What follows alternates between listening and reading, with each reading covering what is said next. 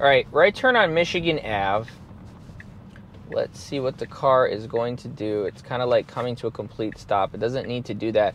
Anticipating the light, but I didn't want it to stop because there was a bus behind us and I don't want to get a accident with the bus.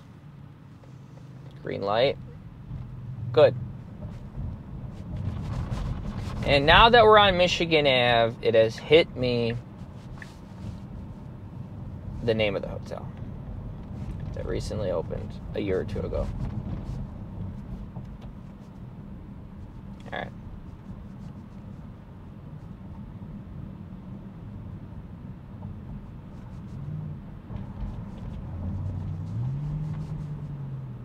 We have a fellow Cybertruck owner here. Cool wrap on it. Wonder if I know who that is. I've seen that wrap a lot, so it's hard to tell who's who. Let's boost this up.